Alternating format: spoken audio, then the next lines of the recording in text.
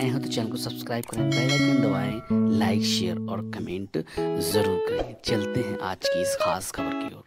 नमस्कार, स्वागत है आप सभी का हमारे यूट्यूब चैनल अंदेशक न्यूज़ एंड न्यूज़ के इस स्पेशल कार्यक्रम में। साथियों, यहाँ पर शिक्षा मित्रों की आवाज़ संसद में गूंजी है।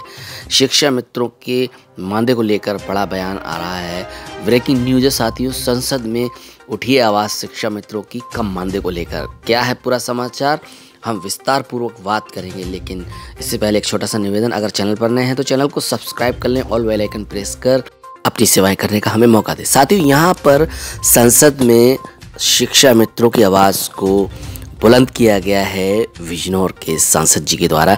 मैं पूरा समाचार आपको इस एपिसोड में बता रहा हूँ। शिक्षा मित्रों के कम मानदे को लेकर संसद में आवाज़ उठी है। शिक्षा मंत्री जी के समक्ष ये सवाल किया गया है कि इतने कम मानदे में जो बेसिक शिक्षा विभाग में प्राइमरी स्तर पर शिक्षा मित्र और जूनियर स्तर पर अंधशक कार्यरत हैं, वो इतने कम मानदे में कैसे अपना गुजारा करते हैं? क्या ये कानूनन सही है? क्या समान कार्य, समान वेतन के दायरे में उत्तर प्रदेश को नहीं लाया जा सकता। यहाँ पर एक बड़ा सवाल किया गया है। यहाँ पर साथियों बताना चाहेंगे, सांसद बिजनौर मलुक नागर ने संसद में शून्यकाल के दौरान उत्तर प्रदेश के शिक्षा मंत्रों की तनख्वाह बढ़ाने की पैरवी की। इसके अलावा रेलवे आउटसोर्स के लिए कर्मचारियों की सामाजिक सुरक्षा लाभ योजना का सरकार से ब्यौरा भी मांगा है। मंगलवार को शून्यकाल के दौरान बिजनौर के सांसद माननीय मनोक नागर जी के द्वारा ये उत्तर प्रदेश के शिक्षा मित्रों को लेकर सवाल उठाया गया और कहा गया कि 2015 में शिक्षा मित्रों की तनख्वाह अड़तीस हज़ार पाँच सौ रुपये थी। वर्ष 2017 में कानूनी हस्तक्षेप और राजनीतिक हस्तक्षेप के बाद उन्हें हटा दिया गया और उनको पुनः दस हज़ार रुपये तनख्वाह पर रखा गया। तब से अब तक अगर सरकार की बढ़ी हुई महँगाई ही माने तो इनकी तनख्वाह डबल बैठती है।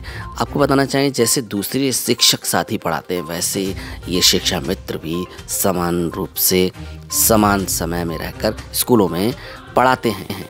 जैसा कि आप जानते हैं, नियमित शिक्षकों के लिए साठ हज़ार रुपये तनख्वाह मिलती है। आए दिन घटनाएँ घटती रहती हैं शिक्षा मित्र आत्महत्याएँ कर रहे हैं अनुदेशक आत्महत्याएँ कर रहे हैं, नौकरियाँ छोड़ रहे हैं। इनको शादी विवाह आदि की तरह भी दिक्कतें आ रही हैं। इसके लिए जीवन और मरण का प्रश्न है। उन्होंने सरकार से इसकी तनख्वाह बढ़ाने की मांग की है। तो साथियों, ये समाचार इस समय सबसे ज़्यादा वायरल हो रहा है समुदाय शिक्षकों को लेकर और उन्होंने तनख्वाह बढ़ाने के लिए सरकार से गुहार लगाई है। समस्त प्रदेश के शिक्षा मित्र अनुदेशक मानी सांसद जी को कोटि कोटि नमन प्रणाम धन्यवाद करते हैं कि कम से कम आपने हमारी आवाज़ को राष्ट्र के सबसे बड़े न्याय के घर में ये बात रखी। तो साथियों, शिक्षा मित्रों से संबंधित यदि खास खबर मिलते हैं, किसी और अपडेट के साथ अनुदेशक शिक्षा मित्रों की बेहतरी के लिए अनुदेशक न्यूज़ पर बने रहिए आप।